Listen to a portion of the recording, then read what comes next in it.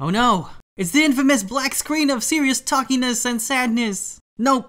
Today is something like that, but not quite. Well hiya! I'm Victor A and today might be the last time I say that as an intro on this channel. So this is the official changing the channel announcement, saying goodbye to 2017 and saying goodbye to gaming content on this channel. Very nice. I'm actually, right now, I'm feeling a little anxiety from ending stuff from parting ways with certain things I wanted to do and have done. But it's definitely a chapter that needs to be closed on this channel. So I'll be posting very soon in 2018. You guys won't wait too long and I'm really, really going to enjoy 2018. As much as have I, I've enjoyed these last few months playing games on this channel, I've really sort of been reinvigorated.